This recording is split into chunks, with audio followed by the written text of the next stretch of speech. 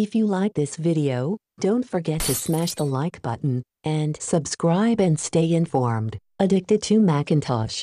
Hi, there is a Parallels Desktop 17 is a new upgrade. This new upgrade is packed with performance updates for Mac OS Monterey, Windows 11 and it is optimized for Intel and Apple M1 chip Macs. In collaboration with Apple, Parallels engineers created the world's first prototype of a Mac OS Monterey virtual machine running on a Mac with Apple M1 chip. With this upgrade, you will notice the improved drag and drop which will enable you to easily drop text and images into Mac OS Monterey Quick Note from Windows applications. Furthermore, you can now easily install Mac OS Monterey onto a virtual machine via Parallels Desktop 17 Installation Assistant. You will also notice that Parallels Desktop 17 resumes Windows 10 faster, has smoother UI and video playback, and it is more perfectly integrated. The powerful new features will be noticeable especially on Apple M1 chip Macs. Parallels 17 is reported to be up to 38% faster with Windows 10 resume speed,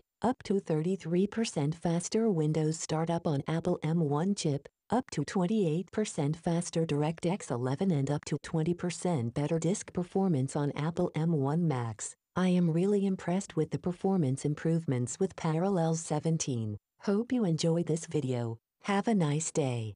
Subscribe and stay informed. Addicted to Macintosh.